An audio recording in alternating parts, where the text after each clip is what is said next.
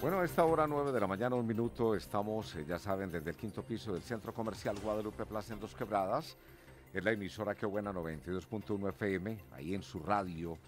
Y también estamos en Risaralda TV, en vivo y en directo, como también en redes sociales para Pereira Dos Quebradas, Risaralda, Colombia y el mundo. Julián Chica Cardona, escritor, gestor cultural, secretario de la Academia Caldense de Historia, a quien tenemos aquí en nuestra mesa de trabajo. Julián, muy buenos días, bienvenido. Buenos días Álvaro, muchas gracias. Un saludo al doctor Germán y a todo el equipo que compone esta importante emisora del municipio industrial. Le dejo saludos al doctor Germán Aguirre también. Claro que sí. Eh, bueno, pero cuéntenos más de usted. Me decía ahora extra micrófono que, eh, que además es maestro de ceremonias, tiene una cantidad de, cosas interesantes que es bueno recordar de su perfil, Julián. Mm, sí, dentro de las actividades de la gestión cultural, que pues el enfoque mío ha tenido una mayor fuerza en el asunto de la historia. Eh, ha habido que tener eh, o desarrollar destrezas y habilidades necesarias para la ejecución de estos procesos.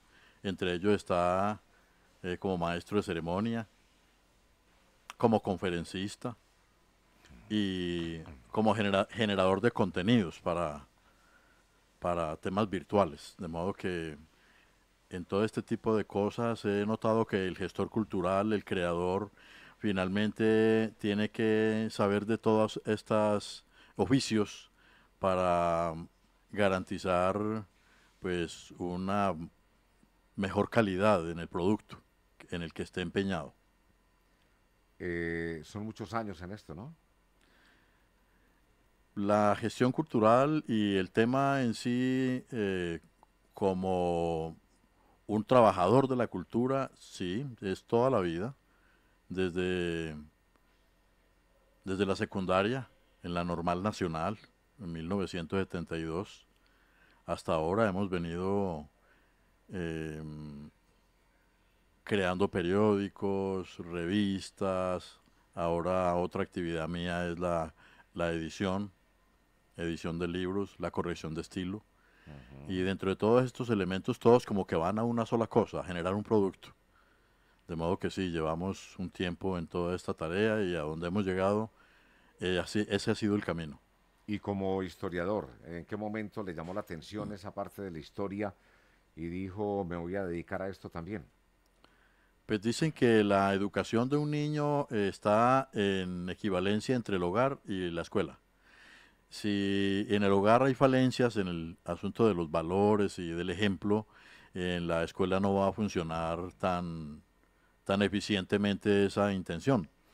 De modo que yo le atribuyo esa, ese ejemplo que tuve la oportunidad de recibir en el hogar de pequeño, con, con los abuelos, con, con la ancianidad que había en el sector y todos los cuales eran excelentes narradores desde ahí empieza esa inquietud para querer saber el por qué, eh, dudar de lo que le están diciendo a uno si realmente es y constatarlo desde la fuente. Entonces, esa, esa inquietud fue creciendo a partir de la lectura de muchos libros hasta poder establecer con claridad asuntos que me, me atosigaban a mí, como por ejemplo los episodios de la guerra de los mil días todos esos temas, cuando en la casa hablaban, por ejemplo, del bisabuelo que fue coronel honorario por un, eh, una actuación destacada en la batalla de Garrapatas,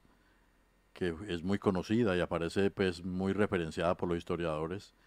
Entonces quería como empezar a ubicar esas, esos hechos cronológicamente y y conocer de primera mano ese tipo de, elementos que le dicen a uno de dónde viene, de qué está hecho uno. Porque de los viejos, de los ancestros, de los abuelos, uno puede formarse una idea de, cómo está uno hecho. Como sucede también ahora con esta em, idea o esta intención, esta campaña que hay en las nuevas generaciones por saber más de los pueblos originarios, de los indígenas de hace 500 años, de, por la antropología, por la arqueología, porque ahí también hay respuestas sobre nuestro papel en el mundo como hombres. Siempre un historiador eh, tiene dudas, o, se va es por mirar la historia, cómo está, cómo fue, por contarla, o siempre se va es porque tiene dudas al respecto y quiere averiguar, investigar si fue así o no fue así. Sí, la, uno, una de las plantillas, llamémoslo así, que, que orientan a un historiador, a un buscador de la historia, a un investigador, es, eh, digamos, el escepticismo. El escepticismo sobre las cosas y tratar de, de traer claridad sobre la forma como la historia nos ha sido contada. La nueva historia busca es precisamente la argumentación, llegar a la fuente. Hay fuentes primarias, secundarias. Eh, muchos historiadores incluso eh, no han logrado pasar de las fuentes secundarias, siendo que ahí se ajustan al rigor científico de lo que hay de una fuente secundaria. Mm, y ve uno otros más acuciosos que ya van es directamente a la fuente primaria, es decir, al, al archivo, al documento original, a esa primera escritura que hay, a ese primer relicto que hay de cualquier cosa que esté investigando, para a partir de él desarrollar una narrativa de, de su percepción.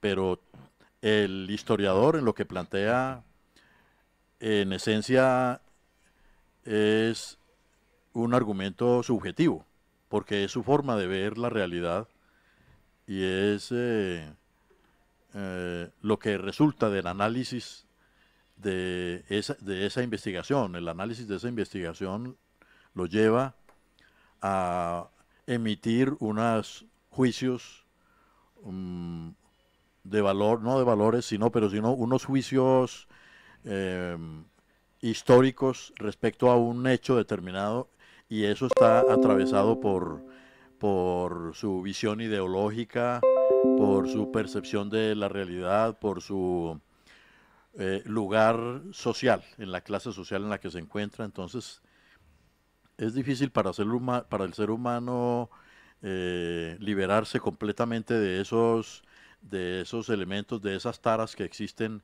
en nuestra formación cultural, mm, que lo lleven a ser realmente objetivo en el tema que esté tratando. Y Colombia está cruda en el tema de la historia.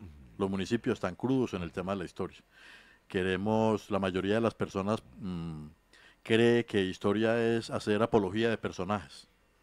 Y esa apología del personaje termina sesgando muchas cosas.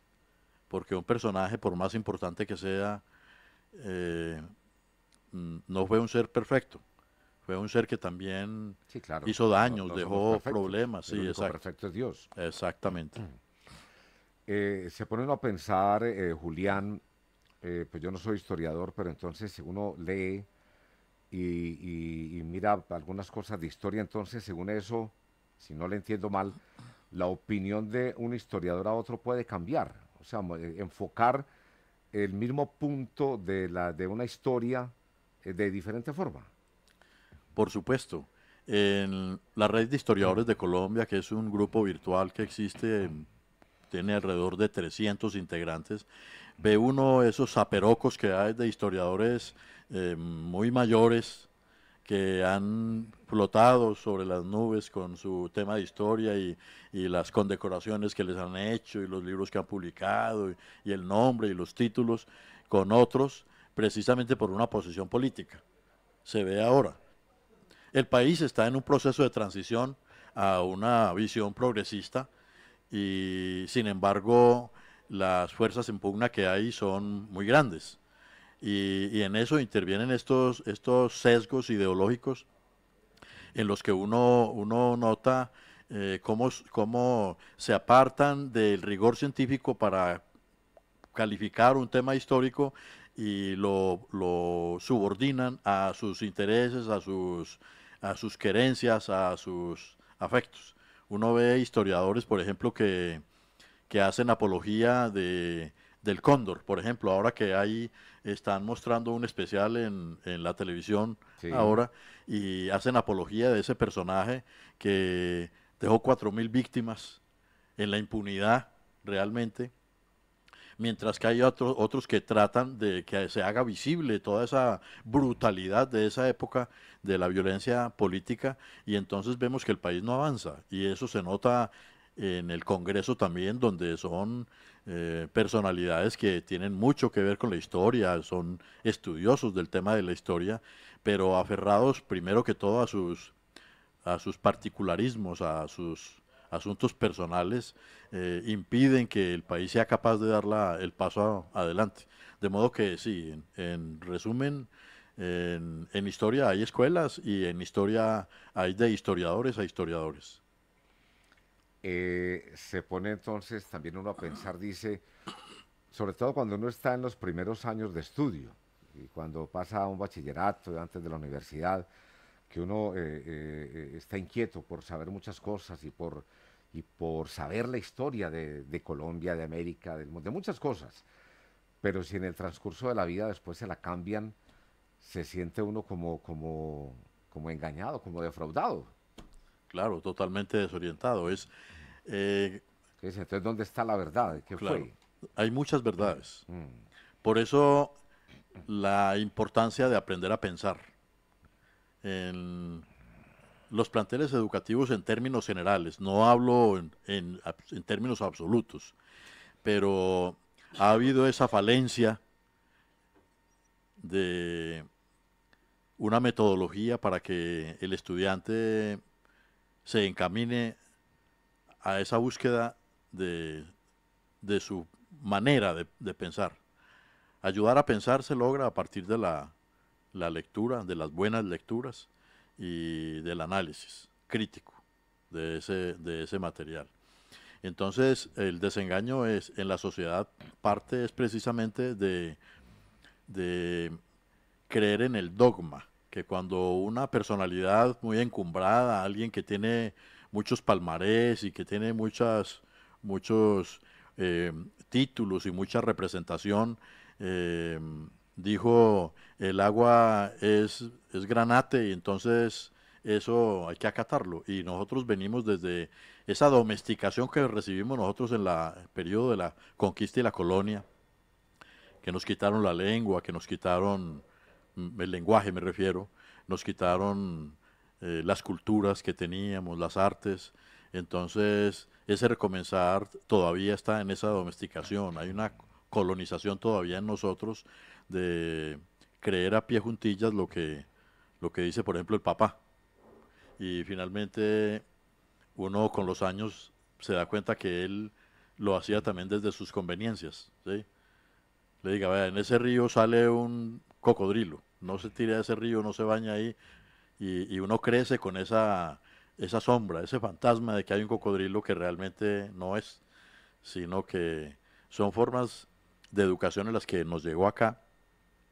Y el colombiano promedio finalmente no sabe pensar. Por eso vemos nosotros la mediocridad en, en las manifestaciones culturales, sobre todo en la música, por ejemplo, eh, estas personas que suben como espuma y, que finalmente no, no tienen los atributos que debería tener comparado con los artistas que hubo una generación atrás. Y, esto sucede también en los escenarios de decisión. Eh, hay muchas falencias en esto y es precisamente porque porque el escepticismo es necesario en todo ser humano. Uno debe realmente ir y constatar si realmente lo que le dicen respecto a la verdad es la verdad. Por eso hay muchas verdades. Muchas verdades. Escepticismo y de pronto rebeldía también. Sí, porque usted tiene que ser, eh, obviamente, mm, sí, debe ser eh, rebelde respecto a eso, ser... Eh, una persona con, un criterio propio, al pensar uno con un criterio propio, ya se despega del, del rebaño, del, de pensar igual todo mundo porque lo dijo fulano o lo dijo sutano, ¿sí? Como en la alimentación desde hace 500 años nos dicen, nos dijeron que por ejemplo que el ají es malo, que el ají es malísimo, que eso que daña el estómago, que daña cantidades de cosas. Y hay naciones originarias que llevan miles de años consumiéndolo y realmente lo que han comprobado es que no era cierto eso que nos dijeron. Entonces son ese tipo de cosas que hacen que uno empiece a no a, privarse a explorar nuevos conocimientos que lo acerquen a uno también a nueva experiencia, nuevas experiencias. Con el ejemplo que le digo, uno pues empieza a viajar y, nota que en casi todas las gastronomías del mundo el ají es un componente fundamental. Eh, lo, usted lo ve en, en, Perú y en las tradiciones incas lo ve, en México pues con mayor razón, lo ve en los países árabes, lo ve en Japón, en China. De pronto se vuelve cultural también, de pronto a cierta cultura, pienso yo, no sé, no soy médico, pero le puede hacer daño, a otros no porque desde niños los acostumbraron a eso. También, claro que sí, pero precisamente las, los productos que, que tiene la naturaleza son para algo, son precisamente es para completar y, eso que no tiene el, otros elementos de... Y viene la otra la parte, Julián, entonces, eh, la parte de historia, por ejemplo, en el ejemplo que pone del, del, del ají, pero hay estudios de pronto, no me refiero al ají exactamente, pero en términos generales, hay estudios de ciertos productos y ciertas cosas que hablan que puede ser bueno y no puede ser bueno. Entonces ahí comenzaría la historia a, a dudar de pronto de esos estudios. Sí, precisamente dependiendo del estudio, qué intención tenga. Es como cuando nos vendieron el tema del azúcar. El azúcar, el, eh, las, los azúcares normales que ha utilizado el hombre originario es el que produce, por ejemplo, la, colmena, la abeja en la colmena, que es la miel. O los azúcares son los que posteriormente se extrajeron en las grandes plantaciones de caña, mmm, cuando se trajo ese producto de África y ya y pegó muy bien en el Caribe.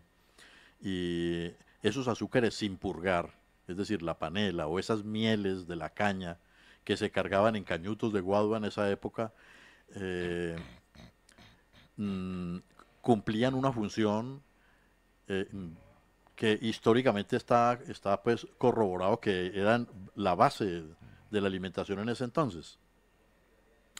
Luego, cuando la industrialización vio la posibilidad de que esos azúcares pudieran ser eh, ultraprocesados, con químicos, con blanqueamiento, que es el que se le aplica ahí, y empezaron a cotizar en la bolsa, entonces se hizo, digamos, se convirtió en una política pública de la Organización Mundial de la Salud eh, señalar que el azúcar era malo. Uh -huh. Y entonces empezó a conectarse con el resto de enfermedades que hay asociadas a eso en beneficio de la farmacéutica. ¿Y para ¿sí? usted el azúcar no es malo? Es que, es que el azúcar, si fuera malo, no estaría en el mango, no estaría en el banano, no estaría en los productos Pero de la naturaleza. Son, no son tipos de azúcares diferentes. Por eso, sí, porque los que se producen realmente son los azúcares industriales que son los que tienen ese, ese elemento. Entonces, o sea, ven, vendamos el azúcar industrial, uh -huh. vendámoslo, porque vamos a vender el otro elemento farmacéutico para que lo contrarreste. Entonces aclaremos ahí, azúcares naturales, de frutas, todo eso, para usted no es malo. No, pues es que está bueno, comprobado que sí. Pero los otros sí son malos. Los azúcares extraídos en procesos industriales y ultraprocesados desarrollan en el organismo humano situaciones que son anómalas que requieren luego intervenciones farmacéuticas. Porque viene el problema de la diabetes, porque viene el problema, dicen que para el cáncer es, mmm, mejor dicho, es... Eh, sí, es una causa. Es, sí. Eh, sí. no, es mejor no comer azúcar, si quiere evitar cáncer y todo eso, que es fatal para el cáncer, sí, dicen, claro. muchas cosas. Entonces, bueno, eh, el historiador, eh, pensando yo, debe tener una memoria también excelente, ¿no? Es necesario, sí. Porque además de que escriben mucho, me imagino, pues llega el momento de una tertulia o lo que estamos haciendo aquí en este momento, hablando, donde se tocan muchos temas y, y hay que recordar, ¿no? Y hay, eh, gozar de una buena memoria es un privilegio. Sí, de pronto es porque el, el entrenamiento, el entrenamiento con todos los asuntos mnemotécnicos y todo lo de la neurolingüística hacen que una, un elemento, una fecha o un nombre se conecten realmente con toda una narrativa. Y entonces hace que tenga un valor. como título de algo dentro de su clasificación. Esa es, esa es la, o sea, y hay que entrenarse entonces, o sea, la mente se entrena, y eso lo sabemos, eh, y le dicen mucho a las personas mayores, pues mire, juegue ajedrez, lea, eh, haga crucigramas, entrene la mente para que no caigan en otras enfermedades a, a medida que van pasando los años. Exactamente, sí. ¿Cómo un historiador entrena la mente? Bueno, pues eso ya es un campo de, psiquiatría, tal vez, de psicología.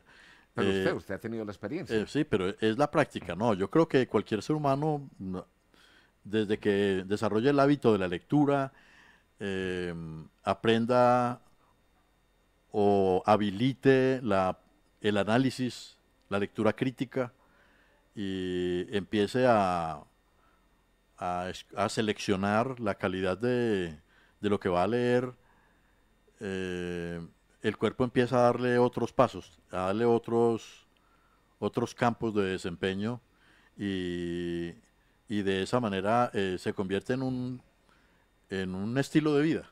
¿sí?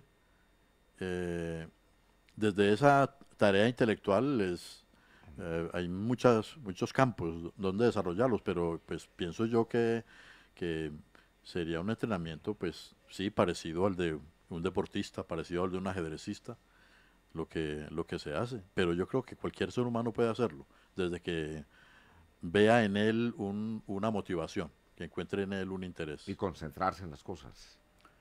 enfocarse, sí, enfocarse en ellas. Enfocarse y, tener concentración. Claro, lógico. Porque hay veces que la gente oye pero no escucha, o escucha pero no oye.